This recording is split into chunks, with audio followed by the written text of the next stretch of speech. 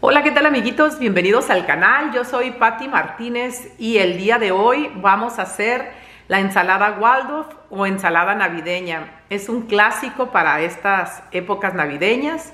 Es muy fácil de hacer, práctica y deliciosa. Voy a empezar eh, enseñándole los ingredientes. Estos son los ingredientes que vamos a necesitar.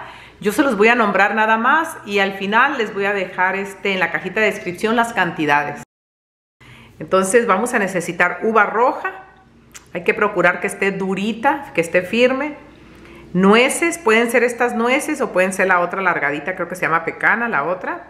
Este, manzana, piña, puede ser en rodajas o en cuadritos, azúcar, limón, pasas, apio y mayonesa. Vamos a hacerla. Voy a empezar picando la piña, el apio y la manzana. El apio le quito yo con el pelapapas para quitarle la, esa fibrita que es incómoda. Comer, este, le quito yo así. Si a ustedes no les incomoda, se la pueden dejar.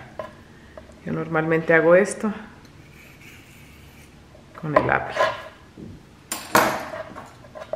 Vamos a agarrar la partecita de aquí del medio, que es la más suave. Y vamos a empezar a picarlo. Ustedes lo pueden hacer pues nada más como vienen muchas veces que hacen esto o lo pueden picar finito. Yo lo voy a picar así de esta manera. ¿Y saben por qué? Porque el apio no me gusta mucho. Sí me gusta el sabor, pero no me gusta como truena, así como que no me, no me fascina.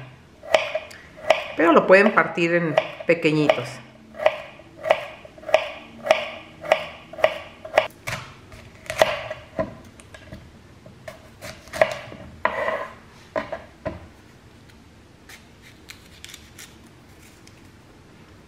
A la manzana a mí me gusta dejarle la cáscara para que se vea bonito el, el color.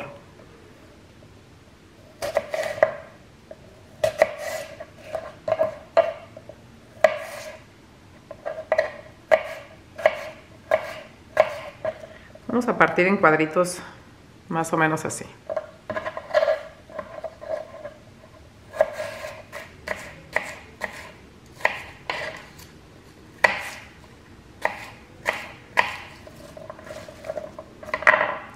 Listo, ahora sigue la piña.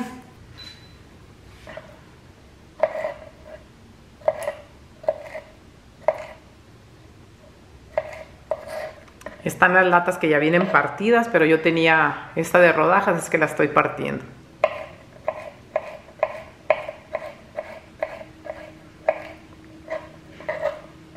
Fueron ocho rodajas de piña. Y las uvas las voy a partir nada más por la mitad. Eh, fíjense que estas vienen eh, grandes, pero de todas maneras a mí me gusta partirlas así por mitad. Siento que están, se ven más bonitas y aparte más cómodas a la hora de comer. También las voy a partir porque miren, vienen aparte vienen grandecitas. Al menos que vinieran muy pequeñas, pues no. Pero a mí me gusta así, miren, partirlas por mitad.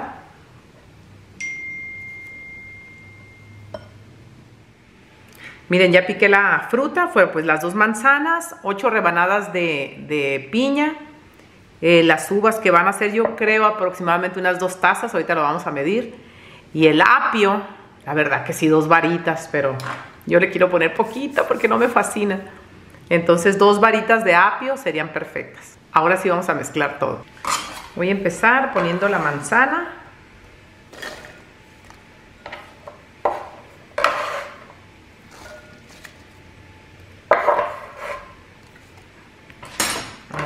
Piña. Qué delicia estas ensaladas, como me gustan. Y el apio. Ah, y por último la uva también. Miren, cuando hagamos esto, aquí es cuando vamos a ver que tengan más o menos la misma proporción de uva, de apio, de piña.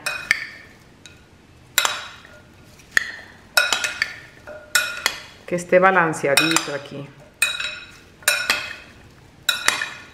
La usan mucho en Navidad, pero pues se puede comer en cualquier, este, aquí un cabellito de lapio, en cualquier día, en cualquier mes del año. Yo creo que está bien. A ver, le voy a poner un poquito, unas poquitas más de uvas.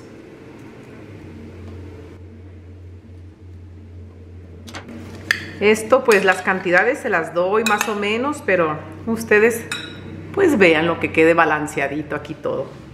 Ahora le voy a poner las pasas también, que esto es, ¿cuánto? Esto es media taza.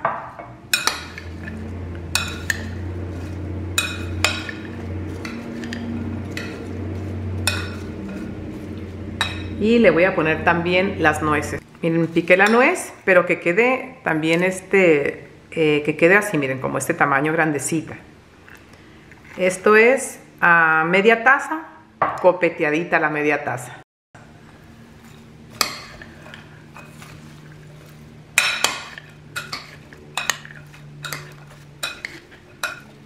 Perfecto. Yo creo que está muy bien así. Ahora voy a hacer el aderezo. Miren, aquí en un refractario voy a poner eh, media taza de mayonesa. Vamos a ver si es suficiente. Si no, le ponemos un poco más.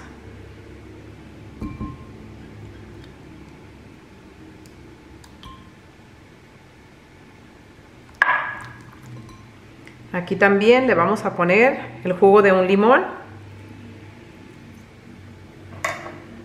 Es un limón mexicano así pequeño. Yo ya le quité las semillas. Vamos a mezclarlo. Y aquí también le vamos a poner dos cucharaditas de azúcar, dos cucharaditas cafeteras. Y luego vamos a probar.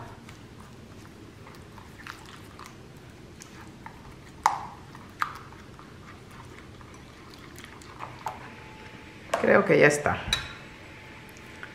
Vamos a ver.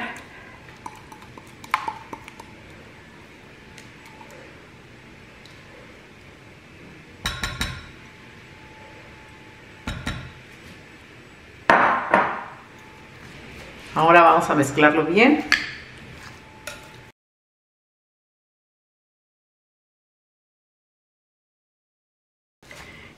Quedó, pero perfecto con media taza de, mayonesa. Miren, no tiene caso ponerle más. Uy, ya voló una piña por allá. Aquí en este momento lo vamos a probar. Si le falta azúcar, aquí mismo arriba le podemos poner un poquito más de azúcar. También si le falta mayonesa, aquí le podemos poner un poquito más. Nada más que es más práctico ponerlo por un lado, eh, mezclar todo y luego ya ponérselo. A ver, vamos a probar un poquito aquí el...